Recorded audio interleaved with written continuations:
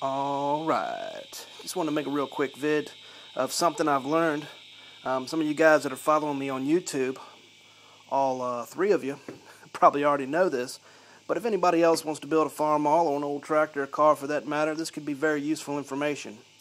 Forged cranks, something I've learned.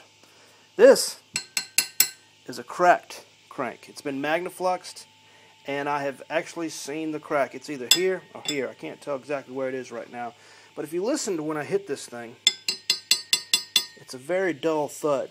Now this crank right here, uh, it's a worn crank, but it doesn't have a crack. Now listen to when I hit it. See, it rings out like a bell. You can really hear that sustain.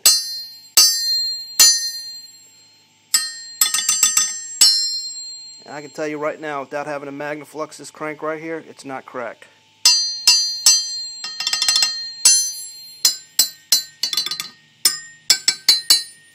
Alright, it's a little neat trick I, I picked up. If you're out at a salvage yard somewhere and going through old cranks, it's it's a trick that might work out for you. Sure as heck would have saved me a lot of time.